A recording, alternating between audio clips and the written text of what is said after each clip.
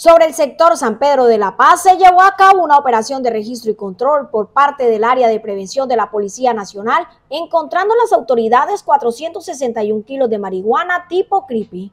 Yo soy Patria, buenas tardes. El día de hoy nos encontramos en área de prevención vial ubicada en el departamento del Magdalena Medio y se procede a la captura de ser un ciudadano, ser una incautación de vehículo y incautación de sustancias superfacientes que por sus características de color y olor se asemejan a la marihuana.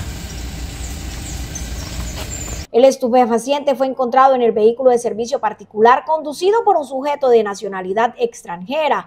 Cubría la ruta Cauca-Guajira al momento de su detención. En este hecho se logra la captura de una persona de 46 años de nacionalidad extranjera.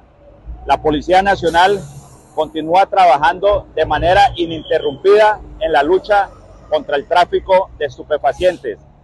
El vehículo la persona capturada y el estupefaciente fueron colocados ante autoridad competente. El capturado deberá responder ante la justicia por el delito de tráfico, fabricación y porte de estupefacientes.